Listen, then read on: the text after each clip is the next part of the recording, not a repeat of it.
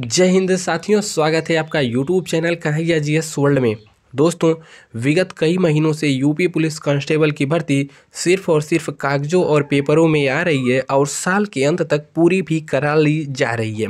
उसी क्रम में आज की जो न्यूज़ निकल के आ रही है, वह चौंतीस हज़ार प्लस पदों से संबंधित है और इसमें जो कुछ लिखा है, नई बात उसमें ऑनलाइन एग्ज़ाम का ज़िक्र किया हुआ है और वर्ष के अंत तक भर्ती को कराने की बात की गई है। तो चलिए देखते हैं आज का हम अपना न्यूज़ का पेपर और दोस्त, यदि आप चैनल पे पहली बार आए हैं तो यहाँ पर किसी भी गवर्नमेंट एग्ज़ाम से संबंधित नोटिफिकेशन पाने के लिए, साथ ही साथ जीएस जीके से संबंधित टॉपिक पाने के लिए चैनल को सब्सक्राइब कर लेना है और घंटे के निशान को भी दबाना है ताकि नोटिफिकेशन मिलता रहे। वीडियो को लाइक वाइक कर दें। और दोस्त, यदि आप रेडियो ऑपरेटर का फॉर्म भरे हैं, चाहे हेड रेडियो ऑपरेटर असिस्टेंट या फिर वर्कशॉप का तो यहाँ पर आपको मिल जाएगा मेंटल एप्टीट्यूड का टॉपिक जो कि यूपी एसआई का प्रीवियस ईयर का सभी का सभी क्वेश्चन है। तो आप चैनल के प्लेलिस्ट में जा करके सभी को आराम से देख सकते हैं। ठीक है? तो चलिए देखते हैं आज की न्यूज़ देखिए, यह किस पेपर का है? तो पहले हम आपको क्लियर कर देते हैं। यह जो पेपर है, यहाँ पर आप देख सकते हैं जागरण डॉट कॉम, यानी कि जागरण जो न्यूज़पेपर आता है, उसी की कटिंग है और यह आज की ही कटिंग है।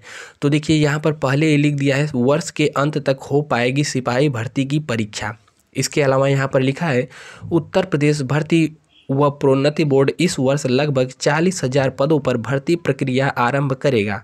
सबसे बड़ी भर्ती आरक्षी, यानी कि कांस्टेबल की होगी, जिसमें आरक्षी पुलिस के छब्बीस हज़ार दो सौ दस पद तथा आरक्षी पीएसी के आठ हज़ार पाँच सौ चालीस पदों पर भर्ती होनी है।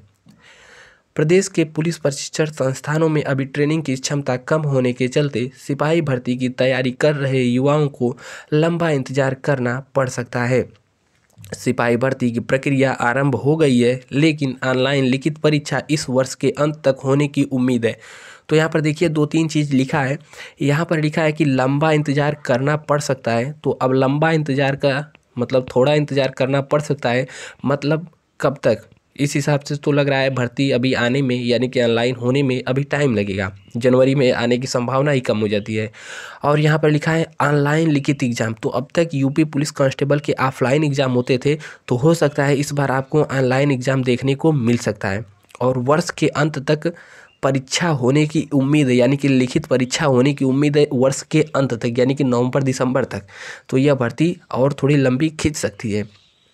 यहाँ पर लिखा है, भर्ती बोर्ड के अधिकारियों का कहना है कि जल्द कुशल खिलाड़ियों की भर्ती संपन्न हो जाएगी।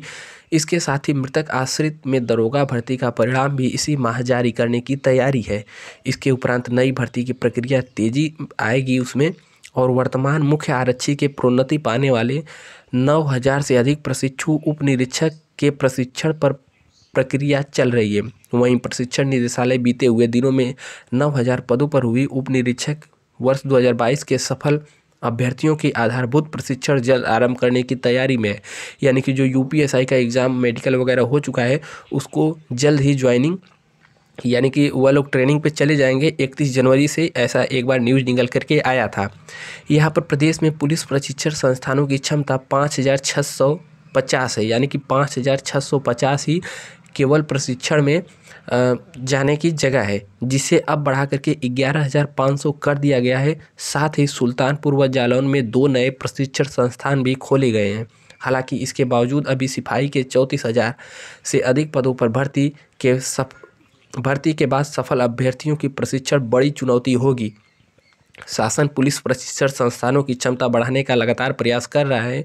वहीं इस वर्ष फायरमैन के एक हज़ार सात पदों व जेल वार्डर के पंद्रह सौ बयासी पदों पर भर्ती के लिए लिखित परीक्षा संपन्न कराने में भर्ती बोर्ड वक्त लगा सकता है। तो यहाँ पर यहाँ पर साफ़ साफ़ कह दिया कि यहाँ पर वक्त लग सकता है, लेकिन यहाँ पर क्लियर नहीं किया है कि कब तक लग सकता है तो इस भर्ती में अभी आपको इंतज़ार देख करना पड़ सकता है। ठीक है, बाकी यहाँ पर आप रेडियो ऑपरेटर का एग्ज़ाम जल्द ही होगा।